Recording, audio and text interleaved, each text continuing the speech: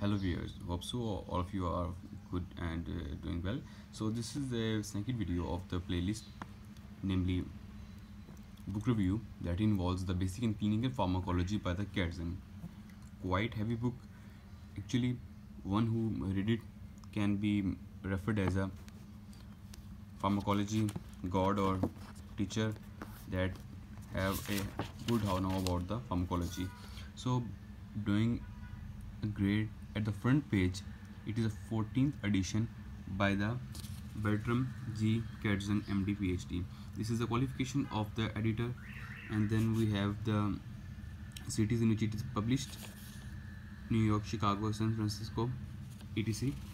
And the next page on the contents we have firstly we have basic principles that involves introduction the nature of drugs and drug development and regulation the second we have drug receptors and pharmacodynamics. Then thirdly we have pharmacokinetics and pharmacodynamics. And the fourth one we have drug biotransformation. Fifth one we have bio pharmacogenomics and in the section number two we have autonomic drugs.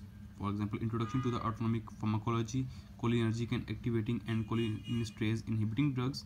And the, on the eighth we have cholinergic blocking drugs. And then ninth we have adrenoreceptor agonist and sympathomimetic drugs. Sympathomimetic drugs are those that uh, mimics the effect of the sympathetic nervous system. And cholinergic are those that uh, mimic the effect of the um, cholinesterase for example acetylcholinesterase while in, uh, in the sympathomimetic uh, we have uh, the um, mimic effect of the epinephrine that is adrenaline or epinephrine that is noradrenaline. And in the next we have adrenoreceptor antagonist drugs. And in the section 3 we have cardiovascular renal drugs and in the first we have antihypertensive agents in the second we have vasodilators and the treatment of the angina pectoris on the 13th we have drugs used in heart failure and 14th we have drugs used in cardiac arrhythmias and 15 15 we have diuretic agents. On the fourth we have drugs with important actions on smooth muscle for example histamine serotonin and alkaloids. And 17th we have vasoactive peptides and 18th we have eicosanoids and prostaglandins and thromboxanes leukotrienes and lateral compounds. On to the next page we have the 19th chapter listed that is a nitric oxide 12th we 20th we have drugs used in asthma on the section 5 that is the drugs that act in the central nervous system. Introduction to the pharmacology of CNS drugs 22 sedative hypnotic drugs and 23 the alcohols 24 anti-seizure drugs and 25 general anesthetics and 26 local anesthetics and 27 skeletal muscle relaxants. On the 28th we have pharmacological management of parkinsonism and other movement disorders. On the 29th we have antipsychotic agents and lithium. On the 30th we have antidepressant agents and 31 we have opioid agonist and antagonist. Agonists are those that um, are on the uh, side that doesn't antagonize means that does not oppose it actually enhance its appearance. So uh, on the 32 we have drugs of abuse. On the section number 6 we have drugs used to treat diseases of the blood inflammation. And uh, 33 is agents used in cytopenias hematopoietic growth factors. On the 34 we have drugs using uh, disorders of uh, coagulation. On the 35 we have uh, agents using dyslipidemia. On the 36 we have non-steroidal anti-inflammatory drugs disease modifying anti-rheumatic drugs non-opioids analgesics and drugs used in gout. On the section number 7 endocrine drugs hypothalamic and pituitary hormones thyroid and antithyroid drugs adrenocorticosteroids and adrenocorticoid on the 40th, we have the gonadal, gonadal hormones inhibitors. 41th, we have pancreatic hormones and anti-diabetic drugs. On the 42th, we have agents that affect bone mineral and homeostasis. On the section number 8, we have chemotherapeutic drugs, beta-lactam and other cell wall membrane active antibiotics.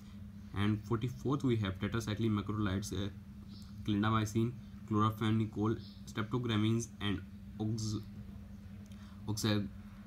oxazo lead ladinones sorry for that. I can't pronounce it. And on the 45 we have aminoglycosides and spectinomycin. On the 46 we have sulfonamides and trimethoprim and quinolones. On the 47th we have antimicrobial drugs antimicrobacterial drugs. And on the 48th we have antifungal agents. 49th we have antiviral agents. 55th we have miscellaneous antimicrobial agents and disinfectant antiseptics and sterilants on the 51st, we have clinical use of antimicrobial agents. On the 52, we have antiprotozoal drugs.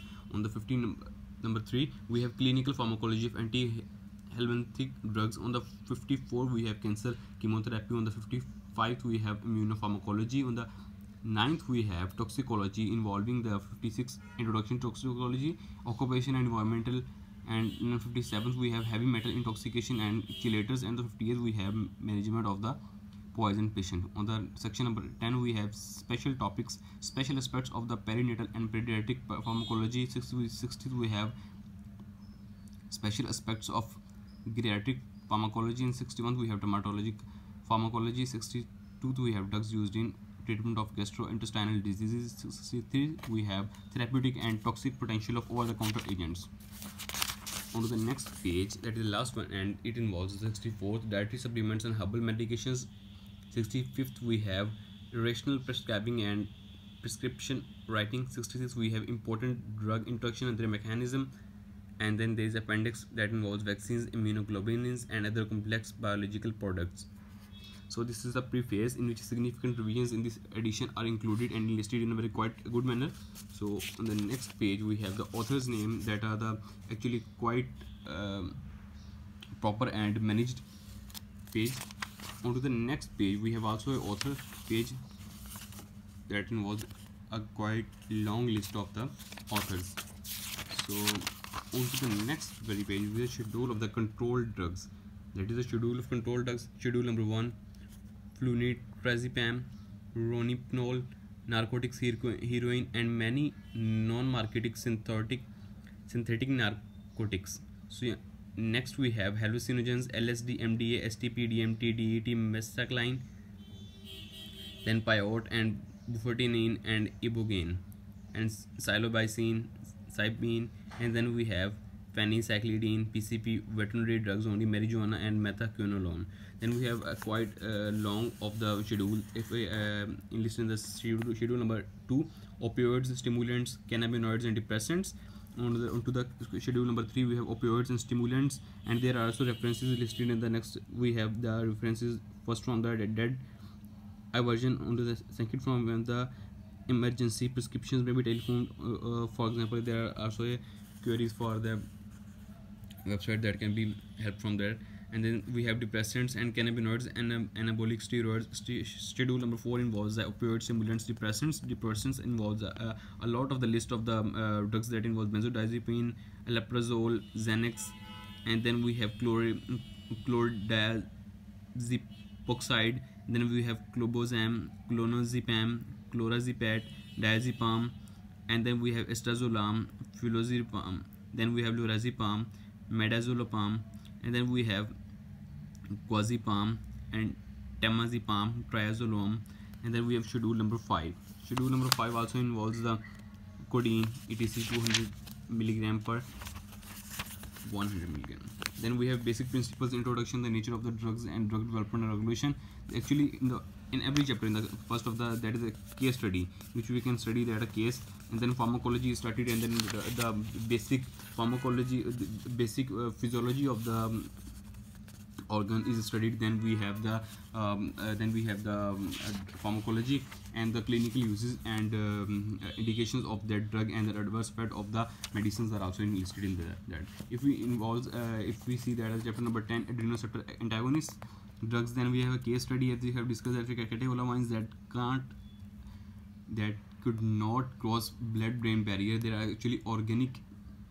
Actually they are sorry polar actually they are polar so they can't move into the blood brain barrier and they can't move into the CNS and this is the next basic pharmacology. As I have listed that basic pharmacology of the alpha receptor antagonist drugs and then we have the pharmacological effects that is the cardiovascular effects and other effects.